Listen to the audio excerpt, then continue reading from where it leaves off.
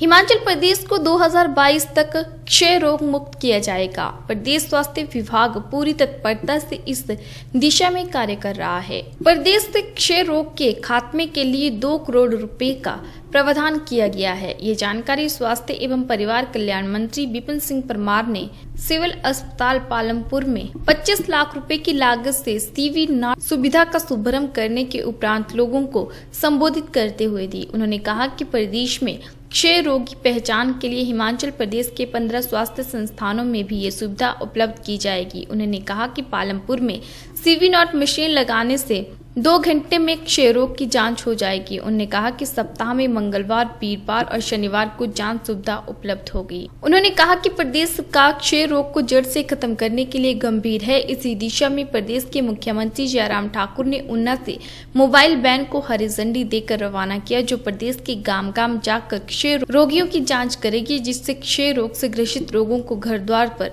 सुविधा प्राप्त होगी। उन्होंने कहा कि प्रदेश में सोलह हज़ार टीबी पेशेंट की पहचान की गई है और स्वास्थ्य मंत्रालय टीबी को जड़ से खत्म करने के लिए स्वास्थ्य मंत्रालय की तत्परता से कार्य कर रहा है। उन्होंने कहा कि देश में टीवी टेस्ट फाइंडिंग में हिमाचल प्रदेश प्रथम स्थान पर है। इसके लिए स्वास्थ्य विभाग की पूरी टीम बधाई की पात्र है। स्वास्थ्य मंत्री ने पालमपुर सिविल अस्पताल को कायाकल्प योजना प्रथम पुरस्कार 20 लाख रुपए प्रदान करने पर विभाग के अधिकारियों और कर्मचारियों को सम्मानित किया। उन्होंने कहा कि प्रदेश के सभी स्वास्थ्य संस्थानों की हालत और व्यवस्था ठीक करने के लिए कार्य को मिशन के रूप में लिया गया है और सरकार प्रदेश में स्वास्थ्य सुविधा को सुदृढ़ करने के लिए प्रतिबद्ध है। उन्होंने कहा कि चिकित्सकों के 200 पद भरे जाएँगे और शीघ्र ही 200 आयुर्वेदिक डॉक्टरों तथा उन्नीस पैरामेडिकल स्टाफ के पद भरे जाएँगे। उन्होंने कहा कि लोगों को अस्पताल में निशुल्क दवाइयाँ उपलब्ध हो, इसके लिए सिविल अस्पताल पालमपुर को दवाई खरीदने के लिए 40 लाख रुपए की राशि उपलब्ध करवाई जाएगी। उद्घाटन किया गया। मुझे पिछले दिनों सम्माननीय प्रधानमंत्री जी के एक टीवी समिट के ऊपर विज्ञान भवन दिल्ली में शामिल होने का मौका मिला। मुझे वहाँ पर अपने विचार रखने का भी मौका मिला।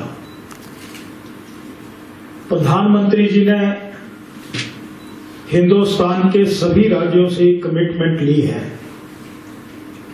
कि मेरा ये देश टीवी मुक्त हो और मेरा ये देश 2025 तक एक लक्ष्य रखा गया है, तब तक मुक्त हो। परंतु हमने हिमाचल प्रदेश में ये टारगेट रखा है कि 2025 तो पूरे देश के लिए हो सकता है। हम वर्ष 2022 तक अपने इस हिमाचल प्रदेश को पूरी तरह से टीबी मुक्त कर देंगे। उत्तर प्रदेश में अभी तक लगभग पंद्रह स्थानों पर इस प्रकार की अत्याधुनिक मशीनों को लगाया गया है। मशीन ही नहीं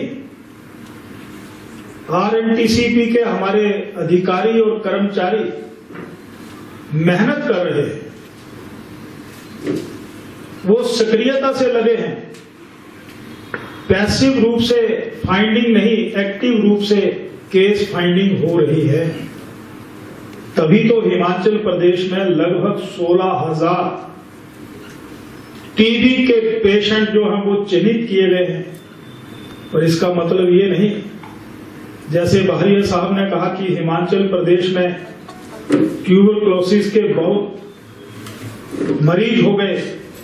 ये इस बात की ओर इशारा कर रहा है कि हिमाचल प्रदेश में इस क्षय रोग को जड़ से खत्म करने के लिए स्वास्थ्य मंत्रालय क्षय रोग विभाग जो है वो तत्परता के साथ काम कर रहा है।